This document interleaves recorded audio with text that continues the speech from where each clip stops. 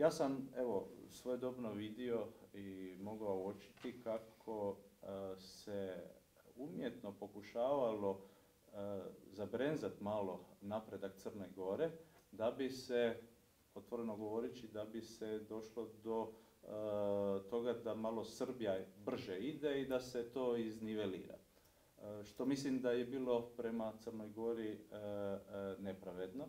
Jer ako Ko je bio ključni zagovornik te vrste neke države članice, vrlo utjecajne, e, koje... Svi znamo ko je glavni europski sponzor Vučiću. Koje su e, nekima htjeli organizirati više međuvladinih e, konferencija gdje mogu otvoriti ili zatvoriti neka poglavlja, a iako je komisija govorila da je Crna Gora već spremna i, i, i ispunila neke uvjete, ta poglavlja za i te međuvladine konferencije za Crnu Goru su se odgađale. Dakle, nije se to zaustavilo, ali bi se odgađalo. Dakle, ja sam tu primijetio da postoji jedna intencija da se to nekako iznivelira, da ne bi otišla Crna Gora predaleko.